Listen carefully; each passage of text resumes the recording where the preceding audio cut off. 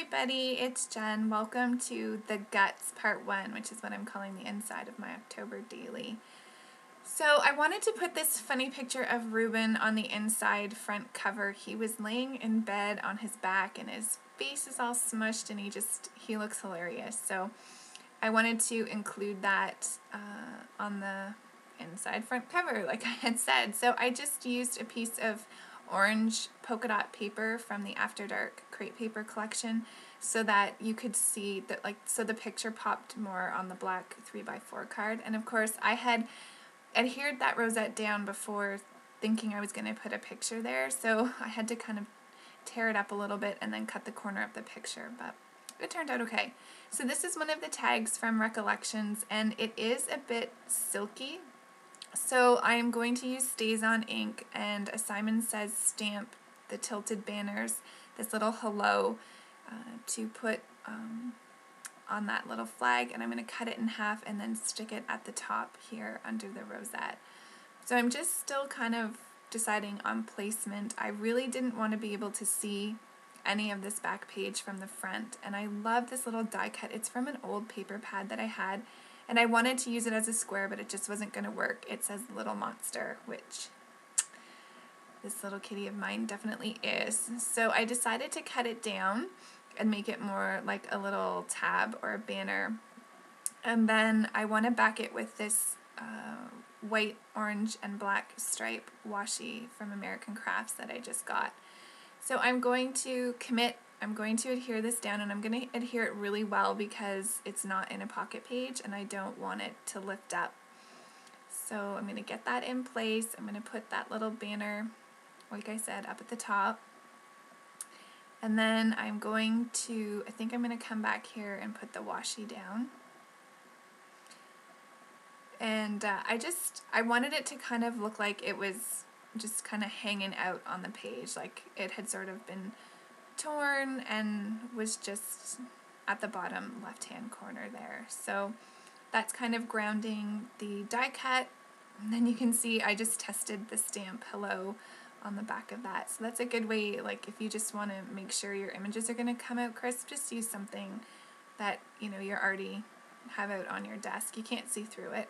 So this is an Amy Tan die cut and I used that vinyl uh, black paper from the Recollections paper pad and just really simple. I think I did go back at the end, yeah, see, so I'm checking to make sure you can't see anything. I did go back after I filmed and um, I added some rhinestone black hearts. So this is a Project Life card and I'm just using that stamp set to write the month of October and then I'm using my Project Life roller date stamp to just put 2015 and I'm going to handwrite in the dates. So I want to use this as like a month overview and so I grabbed my Lawn Fawn stamp set here and I'm going to use the Pilgrim hat for the 12th of October, that is Canadian Thanksgiving. And then I'm going to use the little um, pumpkin kind of candy thing holder for uh, Halloween. And then I'm going to use a birthday present on the 19th because it's my dad's birthday. So I used StazOn because it was on my desk, but it didn't leave a crisp image, so I did go back and just fill it in with a marker. And this is kind of like a work in progress, this page, so I'll come back to it throughout the month. So this is my first kind of entry, I guess. And I really didn't want to see much of it through that front acrylic page. Uh, so this is a picture of, I had a tea and a my first pumpkin spice muffin of the season, which really is like my favorite part of fall.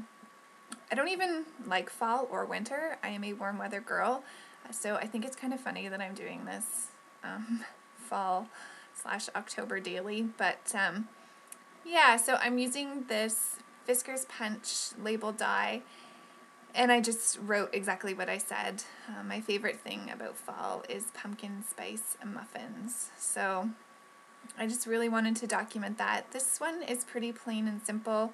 I use this Amy Tan banner die cut in the black glitter paper from the Recollections pad and I just backed it with some gray um, paper from the Pebbles uh, 31 line that I'm using. and then just stuck this down. I ended up using a smaller tab die. Um, you won't see it, but underneath the orange one, and I just put the date stamp of October 1st. And then I'm using these old Recollections black rhinestone hearts here. Yeah, I knew I put something else on the picture of Ruben, but it wouldn't have been the black rhinestone hearts because I'm using it on this one. So I don't remember now, but I did go back. I think I just put a glitter black heart on there. So I'm really happy with the way this turned out, and uh, I hope you guys enjoyed. And if you're doing a December, not a December, October daily, please let me know in the comments below. Thanks for watching.